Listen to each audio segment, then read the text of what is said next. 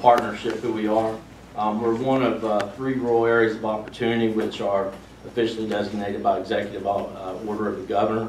Um, Our, our particular region represents 14 counties. That's by far the largest region uh, in the state. And it's simple, our, our, our, uh, our, our mission is strictly focused on economic development.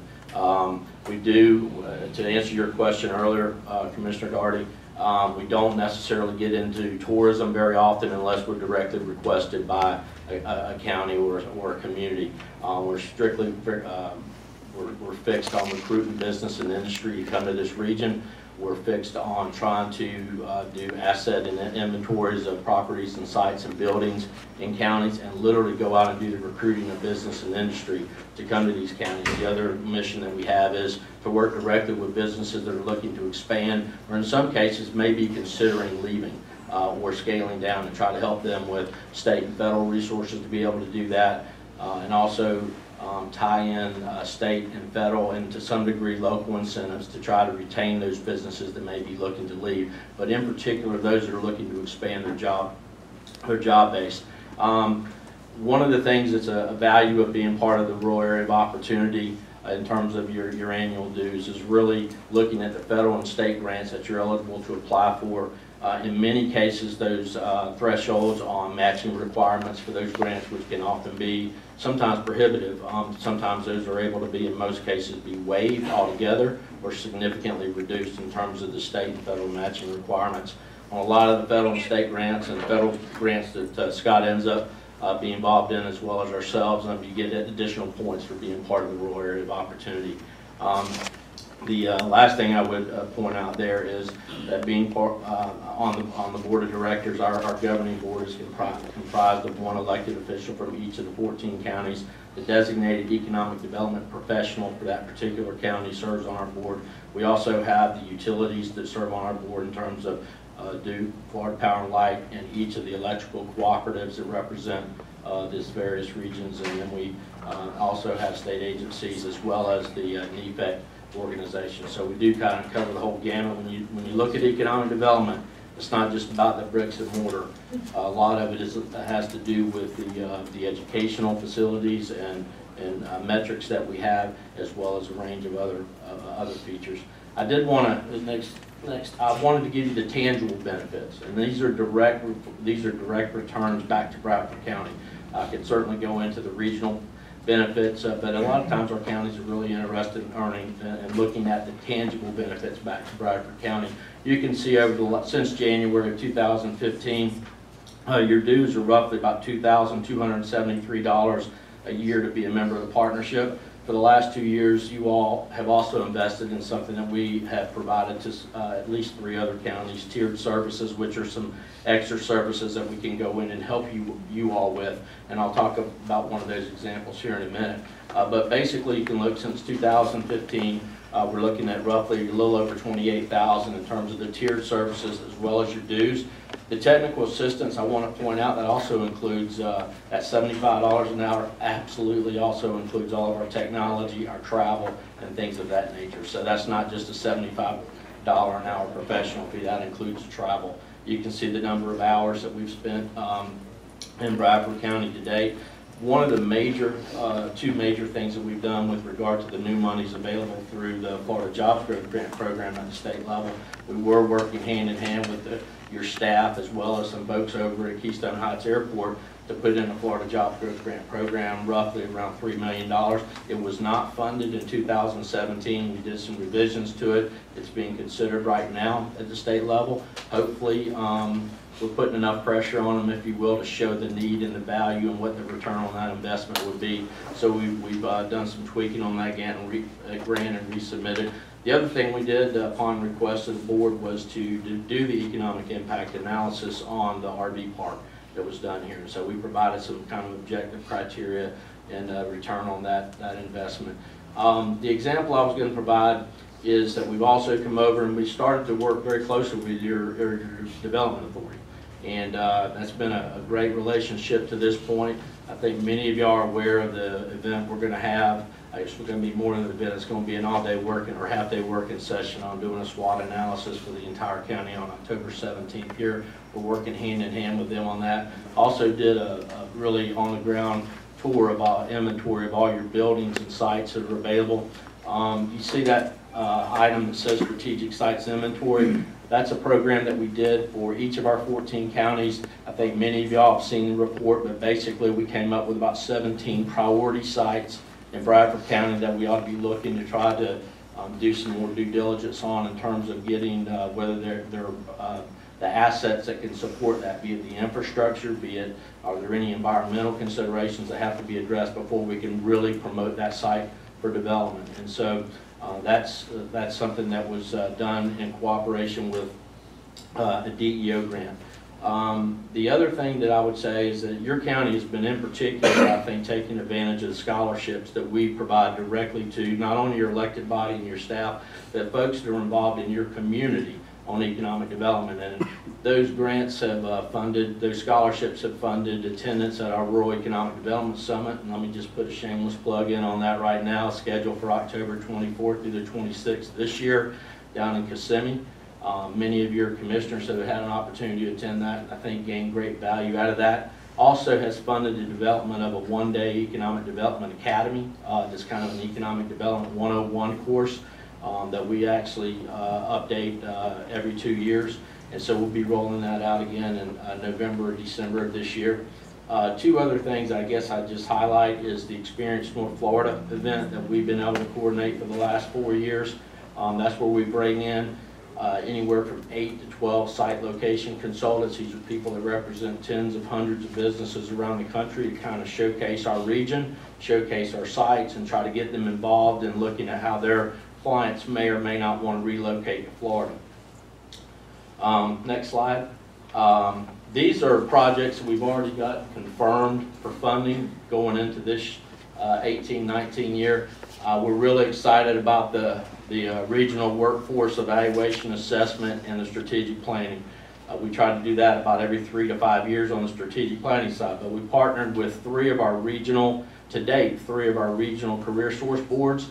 They're gonna be funding that, uh, part of the project. NFEDP is putting in an additional forty thousand out of our, our, uh, budget to, to fund the rest of it, basically to do a county-by-county assessment of the, of the workforce.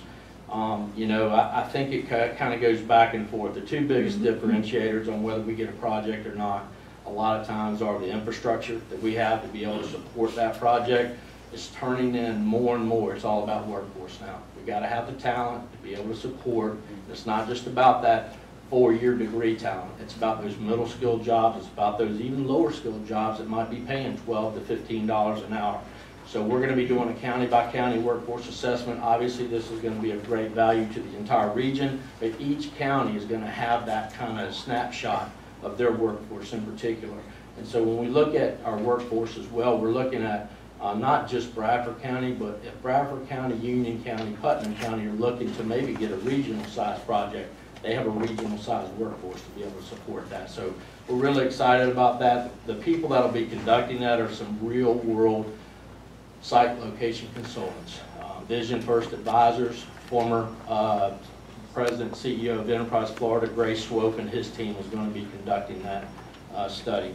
We also, and I'll, I must point out the talents of my lady out that y'all see that you always refer to her as the lady in the hat, but Diane Scholes, who actually just recently completed, and we just got secured a USDA grant and a roughly $101,000 to look at small business marketing. And so we're going to be doing an inventory from county to county about small businesses, and this is kind of in partnership with Small Business Administration as well.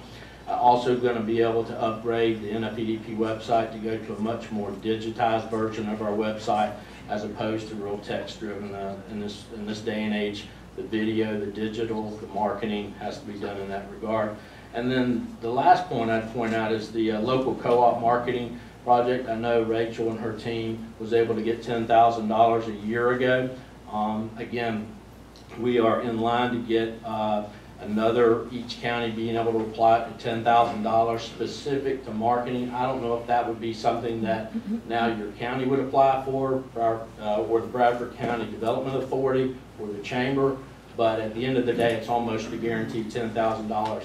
And that's not a, a typo that you have in front of you, the Putnam County piece.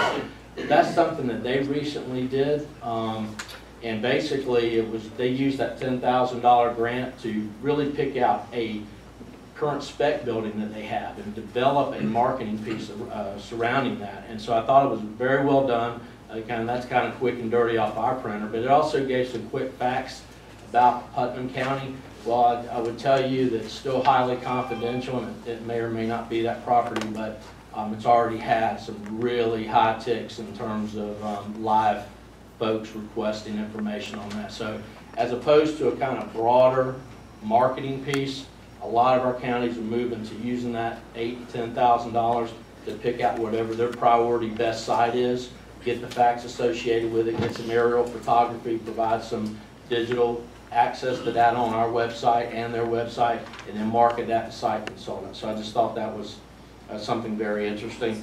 I would tell you that all three of these projects, where they're gonna have a regional benefit, certainly for, for our team, um, each one of them is gonna have a county-by-county value. And so I just, uh, would encourage you to, to, um, consider that. Um, wanted to show you our operating budget, it's all transparent. Um, I will tell you that, uh, you, you can look at the numbers. Um, the local government, or local partners, if you will, is only about nineteen percent of our budget.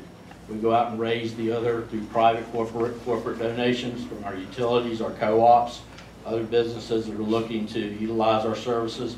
Also, um, we have a dollar for dollar match with the Department of Economic Opportunity. That's the hundred and fifty thousand that you see up there.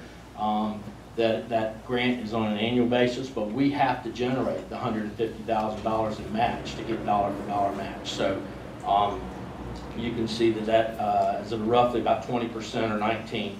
If you go to the next piece, you'll look at our, uh, operating expenses. Uh, I would, I would just tell you, and I want to share with y'all, because I think it's deserving to be shared. Um, we look at the hundred and eighty thousand dollar staffing that we provide to the organization.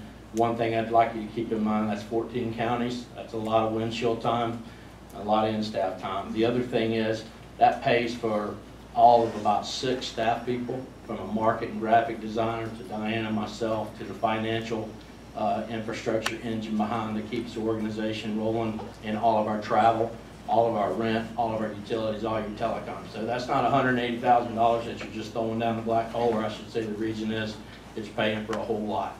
Um, As you can see, uh, we hope to always carry forward dollars. Um, But again, out of that 192, we're already taking 40 of that and reinvesting that into the uh, strategic planning and workforce uh, development uh, strategic plan. In closing, I guess I would say that, um, you know, I'm I'm here to request certainly your participation in the rural area of opportunity, which is an annual dues of $2,273, and that figure is derived from the per capita, in- uh, per capita population in Bradford County at 10 cents per, per capita. So uh, we use the um, uh, legislative economic, economic and development research uh, official numbers. And then we are here to um, uh, see and encourage you to continue your tiered services. I think we've um, put in a lot of sweat equity that I think is going to return some investment in terms of real projects, real jobs soon. As I like to tell a lot of our counties that we work with, um, and, and people can uh, take this for what it is, it's a marathon. Um, we may step into two or three projects right away. It may be another year or two years before we get a project that might be 20 jobs. But at the end of the day, this is about preparing the field uh, for the folks that are looking to come in and expand. I will tell you that our region is exploding in growth.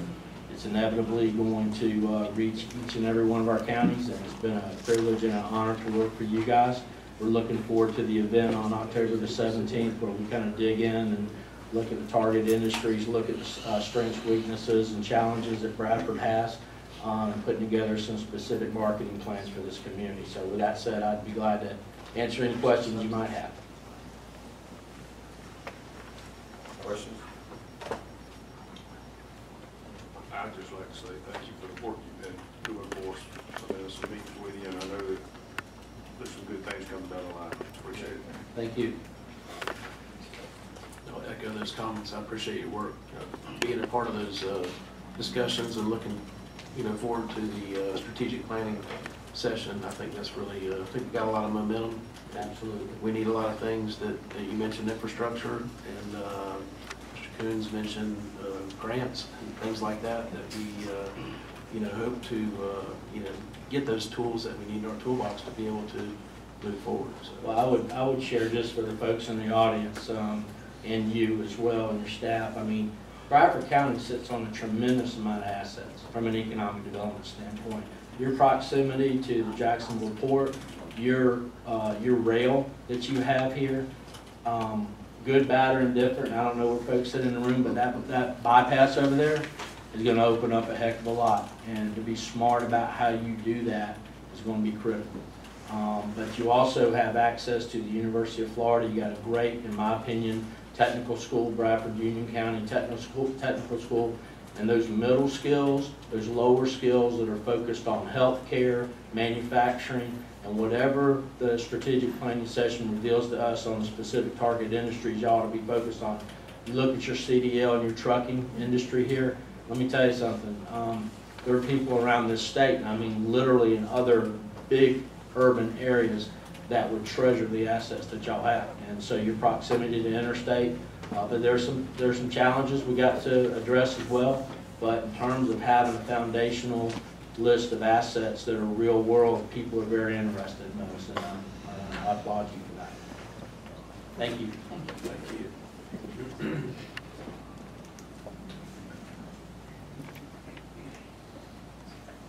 Item ten, county